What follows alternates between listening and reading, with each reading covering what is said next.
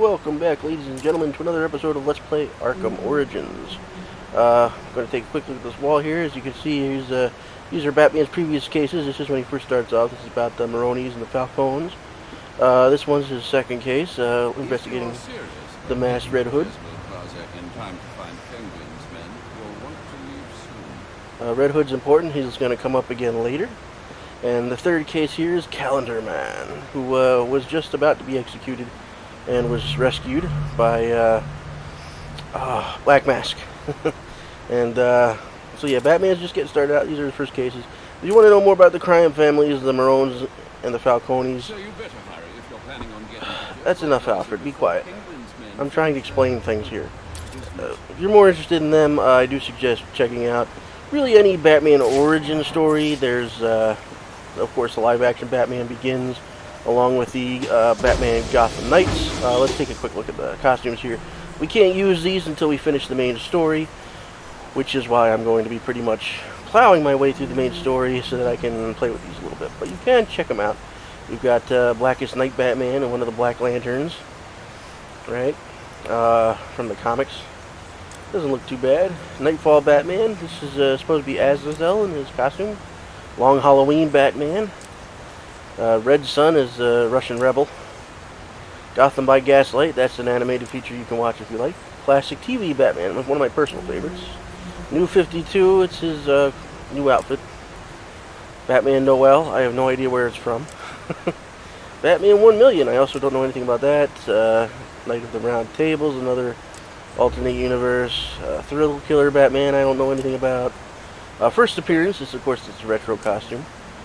Uh, Brightest Day, that's the White Lantern, Earth 2 Batman, and uh, Earth 2 Dark Knight, which I believe are two separate characters. I just don't know which is which. And that's the costume. You can't use them until later, uh, but they are there. Um, but yeah, and you can watch uh, Batman Begins and Gotham Knights. Conversely, you can watch um, and we're going to take the Sir, to make your travels easier, I went ahead and set up some auto-nav points at different areas of the city. One of my preset destinations should take you right to Jezebel Plaza.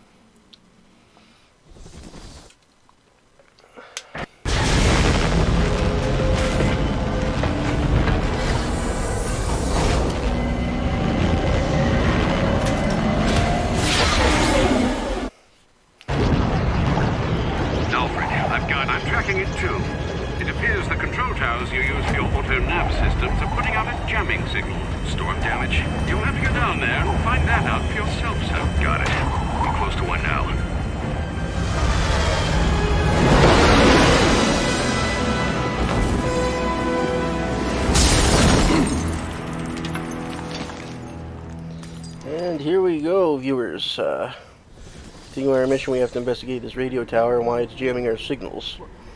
Which is, of course, a little story unto itself. Uh, as I was saying, I keep getting interrupted, and that's why live commentary is difficult. this is post, and it's still hard to squeeze stuff in. The other alternative to Batman Begins and Gotham Knights is year one, either the animated feature or the comic. Let's check out what's going on here. What the? Uh, more shadow play. I love that stuff. You seeing this? What the hell is it? I ain't messing around. Move it. I should use my smoke pellets here. Thank God for smoke bombs. I need to get up and out of danger. You can't shoot what you can't see. This is a tutorial section right here. Attacking head-on is a good way to get myself shot. And probably the hostage, too. But they won't expect an attack from above. Nobody ever does. So yeah, we're gonna do our first inverted takedown. We were answering a service call. That's it. You better not be lying. I like to hang upside down first. It's a little more thematic. Show yourself. I'm Batman. I quit. Pretty cool. It's a lot of fun playing as Batman. It really is. Uh, we've got a few more people to take out in a few different ways. It's all a lot of fun. But it is a little tutorial section just, you know, showing you how to get around and how to do what. Okay, so we're going to take this, uh, we're going to try talking to this guy, it doesn't work, and then we'll take that very obvious, uh... I can sneak up on the hostage vent here. by crawling through the vent. Sorry, I forgot words. But yeah, Batman Year One is kind of the original Batman origin, uh, aside from, like, the classic Golden Age comics. Uh, what happened was, uh... the guy that hired us? You pissed him off or something? This way. Takedowns are fun, but they are noisy, unless it says silent takedown. yeah, people, if there were other enemies Get nearby, would have yourself to heard that. safety and call the police. They'll want to see what's going on here. Um, Okay. Yeah. Frank Miller did uh, Dark Knight This was just Returns, which has also been call. adapted into an animated feature, um, as well as the inspiration for a lot of newer Batman movies. Uh, and it was so popular that at the time that they were rebooting the DC universe, including Batman. So here we can take this guy out, another classic fun uh, takedown, right through the wall. Sweet, I love that one. Um, but it was so popular that they decided to use Frank Miller to do the Batman reboot. just reboot please don't hurt post-crisis, and uh, so he wrote Year One, which of course was became the definitive Batman that uh, pretty much everything that came after was. Uh, Tim Burton's Batman was originally supposed to be an adaptation of uh, the Year One book. Of course, they used a lot of the elements in Batman Begins as well, and even in this universe as well. So it fits just about everything. It's not a perfect fit. It's not technically Arkhamverse. And we got one more dramatic takedown here we can do, which is a lot of fun. A ledge takedown.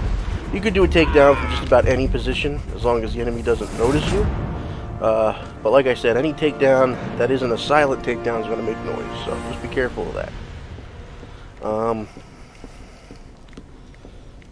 so where was I? Oh yeah, they. Uh, so year one fits, and it's a good fit. Uh, whether you want to go with the comic or the the original book.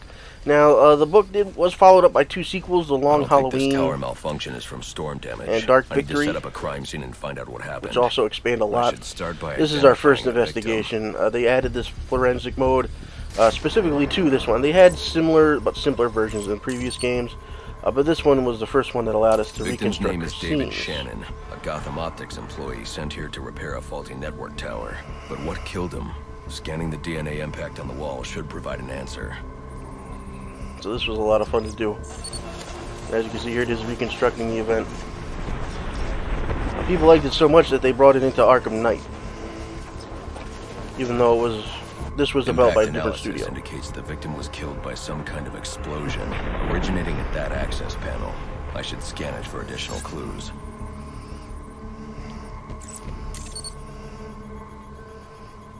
It looks like the panel was rigged to detonate when swiped with a key card. Someone really didn't want this tower repaired, and it looks like that same someone left a set of fingerprints behind. Alfred, I'm uploading some prints for analysis. Let me know what comes back. Certainly, sir. Searching now. And here we are. They belong to one John F. Baker. He's a rather unremarkable criminal. Small jobs, mostly. And, uh, hmm, that's curious. What's curious? Mr. Baker's dead, sir. His body was recovered from the Diamond District just under an hour ago. Looks like someone's tying up loose ends. I can bypass the booby-trapped access panel with my cryptographic sequencer, but I'll need the encryption codes from the victim's access card. Reviewing the crime scene will show me where it is. And this is how you solve crimes in Arkham Knight and Arkham Asylum. You can already see where the red trail is going. Just gotta wait for it to confirm, and there you go. You can now remove this vent cover and scan the card. He does a quiet removal for some reason. Usually he just tosses it. Rips and tears. I think Batman might be a distant relation to Doom Guy. This card has the codes I need to hack any of the network tower's access panels. And time to hackers, I like to say, time to play a little PlayStation Portable in our Batman game. At least that's what it always reminds me of. Could say a Vita if you want. But it's the only handheld with dual analog, so take from that what you will. But we're just starting this part. Um, so yeah, Dark Victory and Long Halloween are sequels to Year One. And also very good books, but um, they don't fit in continuity with these games. So that's just one thing you might want to keep in mind. contact the GCPD. Let them know about the body. Send the data from my analysis, too. Certainly, sir. Does this mean you found the source of the disturbance? I think so. Uh, technically, year one doesn't, but it's pretty close. So you can squeeze that one in if you like. So watch year one, play this game. It's all good.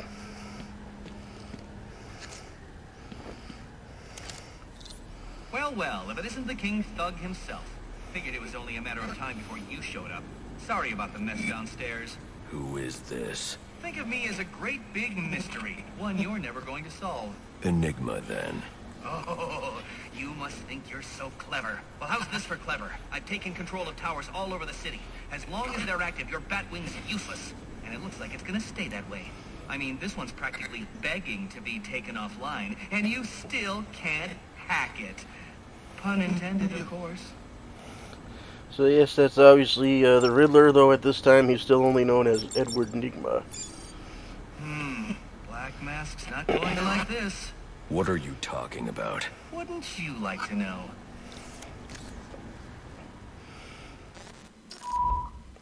With the jammer offline, I can travel here with the Batwing. Those relays are part of a distributed security system. I wonder what they're protecting. That must be where Enigma set up shop. I need to pay him a visit. Now, as in the other Arkham games, uh, Enigma is the source I of see you the secrets. control of the Batwing, sir. I suppose it's off to Jezebel Plaza, then. That's the plan. But Then I've also got a lead on Enigma. Well, don't overthink it too much, sir. We both know you'll eventually wind up doing both. So yeah, at 100% the game, you have to do all of Riddler's uh, side quests, which will include collecting data, intel, and destroying uh, surveillance devices and all that.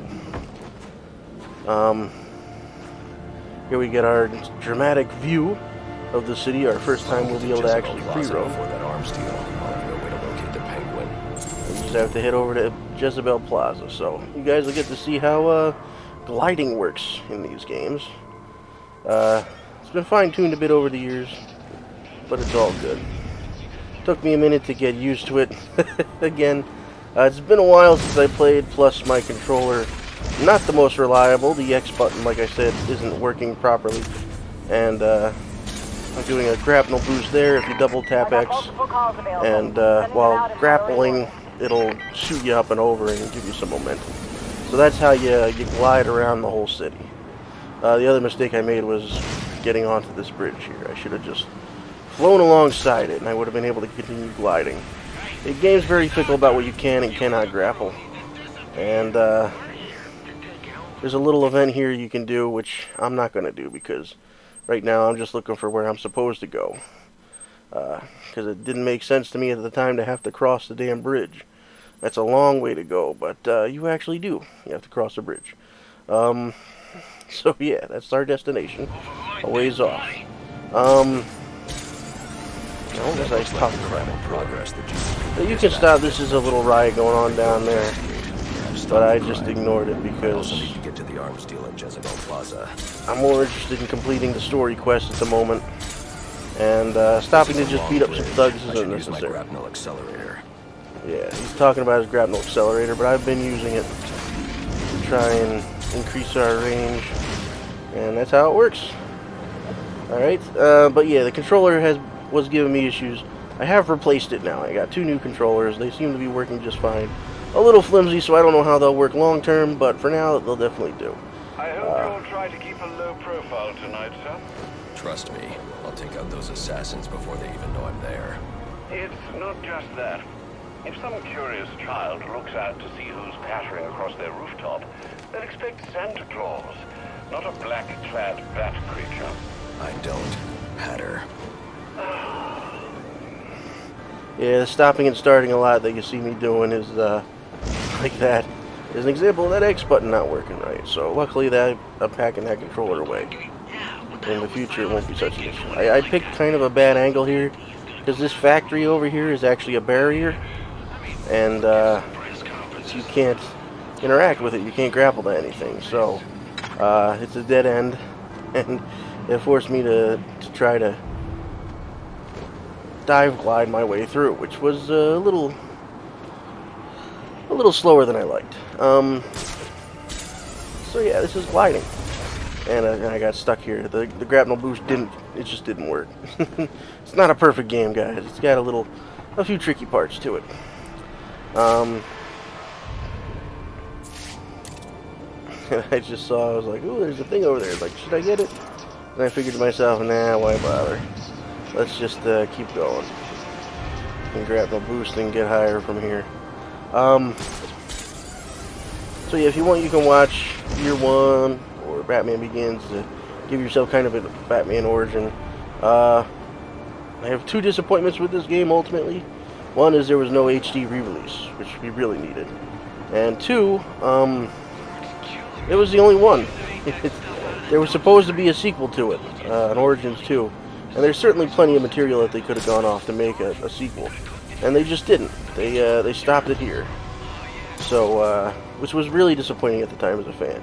Because I liked it, and I liked the idea of kind of telling Batman's origins and his mythos. Uh, you know, whereas the original games just kind of picked up where the comics were and just went with its own thing, you know, which is fine. But uh, it's all interesting stories. They did a fantastic job adapting it all. So this is Jezebel Plot, I landed here at street level by accident. Uh, but that's just how bad my aim is. yeah, you have to hop down before it'll trigger the event. Looks like I'm the first one here. I need to find a spot where I can stake this place out unnoticed.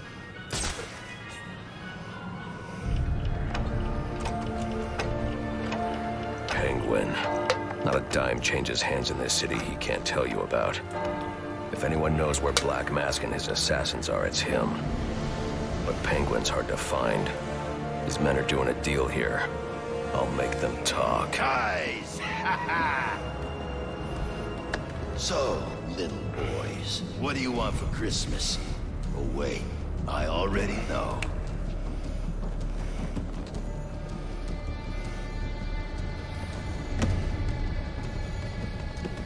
Now let's see if you've been naughty or...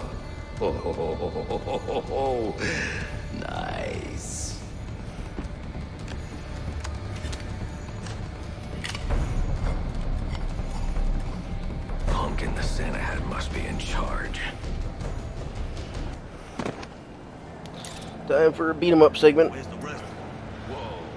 I usually take a minute to scout them out because there's usually one who's a little more dangerous.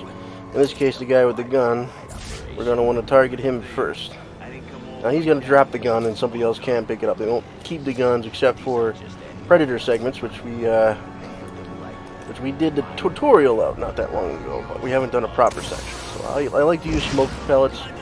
They're just an easy way of getting things rolling. And we'll see how I fare without the hints. So, like I said, no, I'm getting attack indicators here. I'm just freestyling it with a, a less than ideal controller, but it actually, the controller does fine for the most part for combat. So not too shabby so far. Oh, you got me. Like I said, the uh, turning off the hints adds just enough difficulty for me uh, to keep things really interesting. Um, yeah, this is uh, the free flow combat that Arkham invented has been copied a few times, but honestly, I don't think enough because uh, this kind of combat's a lot of fun, and there's a lot of potential to expand and, and you know, make it your own. And we've already beaten up those guys. Nope, not too many problems there. Stop.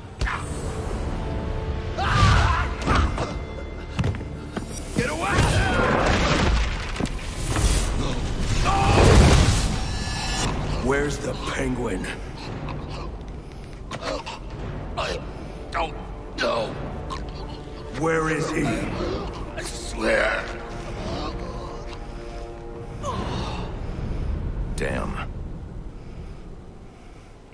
Oopsie. Wake up.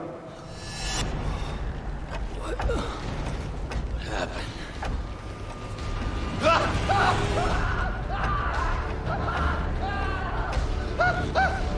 Time to talk. Where's Cobblepot? Let me go! If you insist.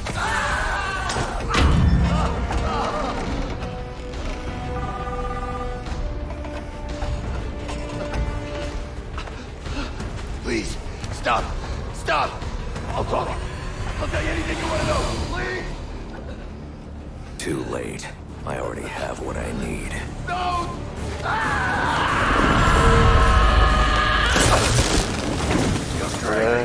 You're freaking crazy! If I can read this SIM card, I may be I able to haven't played locate my way. PSP. Oh crap, what's this? Alfred, I'm getting interference on my comm systems. Is that on your side? No, sir. I'm seeing it as well. It's from the nearby GCR tower. It's the same signal jamming the Batwing's auto-nav systems. I've highlighted the tower on your map. I'll need to stop that signal before I can track down the Penguin. Yeah, so before we can continue our quest, we have to take out the next tower. Stand by for status update on potential assignment. They show me how to break in the ATMs. See if I can remember. Um, so yeah, uh, the point I was trying to make though was that the this these games were the first in a long time that I felt like were just a really good beat 'em up. You know, modern equivalent of, equivalent of a beat 'em up. I love beat 'em up games back in the day. Uh, but we don't really have stuff like that anymore. You know, like pure action games kind of died out uh, when Devil May Cry and, and God of War uh, disappeared for a while. And even when you know, God of War came back, it's still very much a uh, it's a completely different game now. It's not an action beat 'em up anymore. It's a Dark Souls type game, uh, which really isn't the same thing. So I got another little beat 'em up segment to do. Shouldn't be too hard. Um, take out another guy with an instant takedown. Counter attack. Good times. Good times. Um, so yeah, even though it was copied a lot back in the day, I was kind of hoping there'd be more. People would be more imaginative with it. You know, the copies were pretty much just copies. You know, they didn't really do much to improve on it or you know, alter it in any significant way. And it would have been nice if they had. So it's a shame that the whole, because we, we don't have like modern like kung fu games, you know? There's fighting games, but that's about it. And this was the closest we'd come. And uh, nobody's really replicated that properly or, or expanded upon it properly. It works great for Batman, but it'd be really nice to see some, you know, have some fun kung fu games to play that weren't just fighting games like Street Fighter or Mortal Kombat. And of course, I forgot that they inverted the flight mechanics, so uh, I screwed that up. but second time's a charm. Alright, um, yeah, we'll disable this tower, and then we'll be able to move on. Eventually, we'll disable all the towers, and uh, we'll hit Enigma's headquarters. But I'm not going to actually solve all the riddles, uh, collect all the secrets, because that's just going to take an obnoxiously long time, and the reward, I already know, really isn't worth it. So, uh, I'm going to do a quick level up here, because it's going to stay on the screen until it bugs me. And I'm just going to go through these real quick and try to figure out which ones I actually want, uh, which ones are unlocked so that I can get them, and, uh, and I'll settle on something eventually.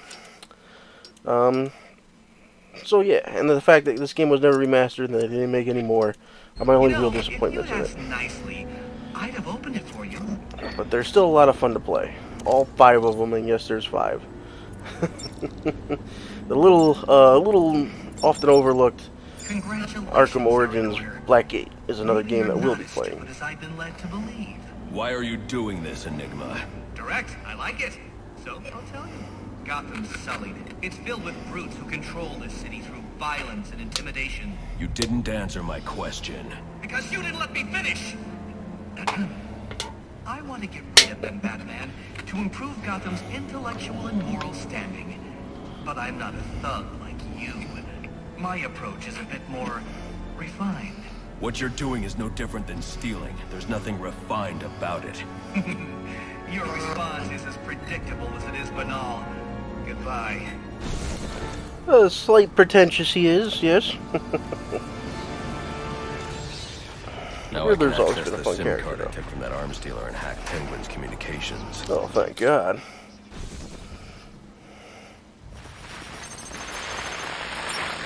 The Penguin's pretty pissed off about the deal going south.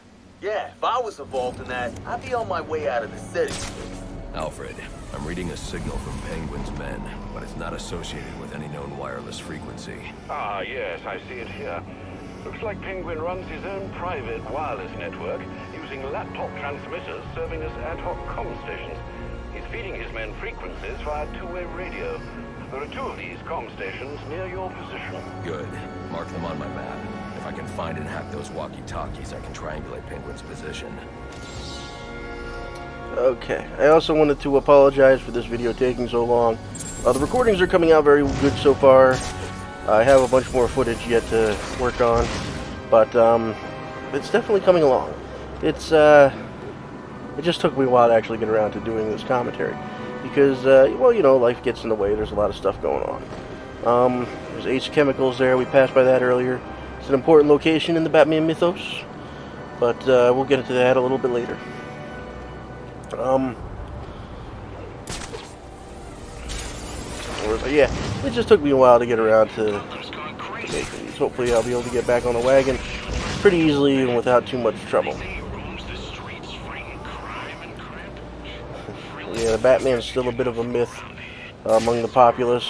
And of course, we got more people up here, and I'm like, oh crap, I guess I'll take them out so that I can properly take the other guys out. And there wind up being a few more than I thought. So, uh, took one out with a silent takedown. I was gonna get the rest of them. But, uh, I got spotted somewhere around here. And I noticed this pipe, there's, uh, I need a special grenade before I can take care of that pipe. So yeah, they noticed me. I might as well just beat them up. Beat them up time, Batman. Yeah, Batman's got a no-kill code. That's his favorite thing. Right? That's his line. He never crosses his one rule. Uh, but he hurts these guys awful bad. So, you know, it makes you wonder. Is you know what's what's Batman's deal? Does he just like hurting people, maybe? Because you know, if you think about it, like if he maimed a few of these guys it would probably go a long way, not just for keeping them from coming back, but people from seeing it from coming back too, or who even know of it. You know, who's going to fight a guy who might cripple you for life? Um, it also means he'll never, he'll never be able to attack you again. But um, he doesn't do that. He just hurts them, you know, and they can always recover. And then they get back into crime, and he beats them up again. And, you know, broken bones and torn ligaments all over and it seems almost like he just enjoys hurting people with it. You know, like, uh, and not, not to employ like killing shouldn't necessarily be the answer. This is, of course, a fictional universe. It's kind of hard to argue one way or another about that.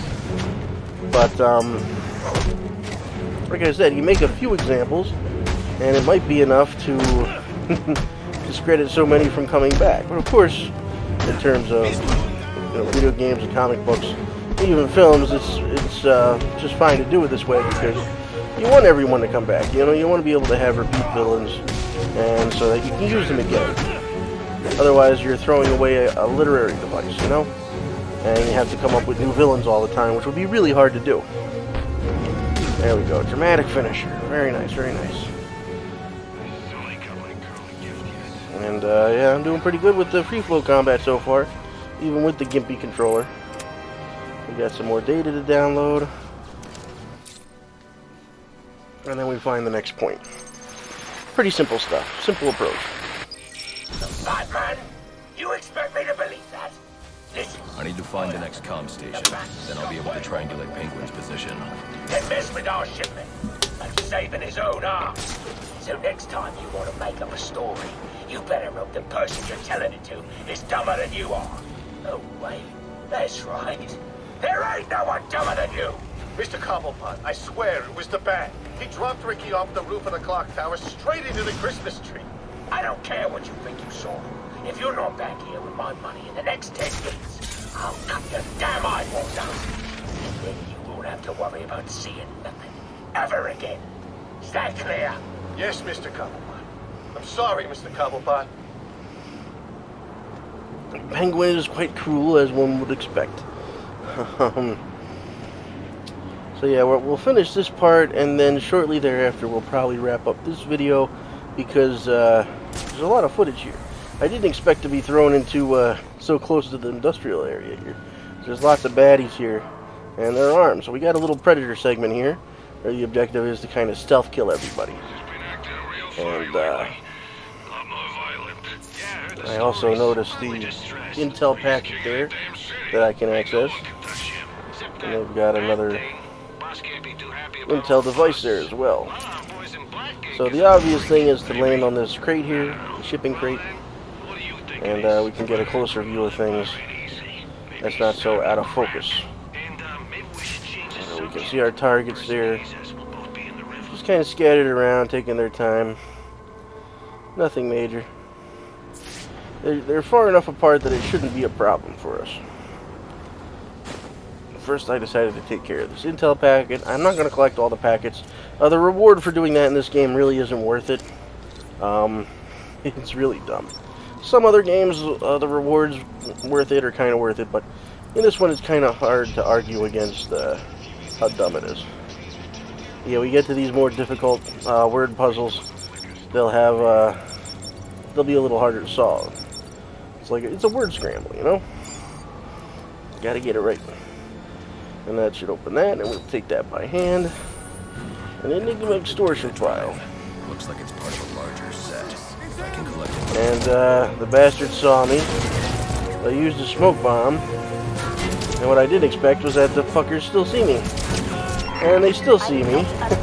and so, yeah, I busted this pretty bad. Uh, I shouldn't have gone for that packet first. And that smoke bomb should have kept them from seeing me. I don't know why it just didn't work. I had to get so far away that it was impossible for them to line up a shot. And they're actually, they're still watching me because I decided to jump to this roof and bugger shot me again.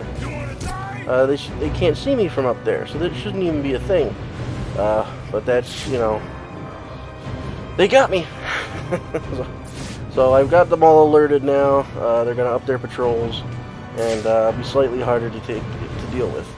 But such is, you know, human error. You got to deal with what you got to deal with. Um, there's no manual saving, I think, in this game, so it's not like you can just reload the scenario and go in quiet.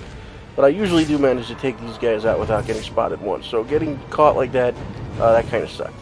There's a guy patrolling down there, but we got another uh, shipping crate we can stand on. So I decided to quietly land on that. Probably lucky he didn't see me, since the other one spotted me when I was higher up. Um, but such as it is. You can do a knockout smash, but that makes noise. So, uh, until you get to the last guy, save that knockout smash. Otherwise, just do silent takedowns. Uh, you can stick to cover. There are covered takedowns, corner takedowns, as it were. Uh, I thought I had an opening there, but he started coming back. And then I noticed both of them are coming at me, so I'm like, just, just please don't see me. My pathetic attempt at hiding. I should have gone back around the container or something. But, um, I, you know, I couldn't help but screw this one up again. He's coming. I was hoping he was going to stop and turn around. And, uh, he saw what I did to the other guy. So I was like, screw it. Let's just finish him. And when I got him, I was like, well, hell, there's one left. So I might as well just walk around and wait for him to turn and then take him out. And he wound up coming straight for me anyway, so I just said, alright. I still managed to miss. eh, not the uh, best show I put on there, but, uh, you know, you gotta do what you gotta do. And I figured while I'm here, I might as well take out this uh, surveillance device. Whatever if you throw with uh, protecting, it can't be R1 instead of R2, it'll the camera will follow it like that. But yeah, you're supposed to destroy all those surveillance devices, collect all the intel packets, and that's how you solve the Riddler's riddles. So now we're gonna collect this, scan our last uh, communication point, which is actually going to give us the, loca the location of Penguin's hideout.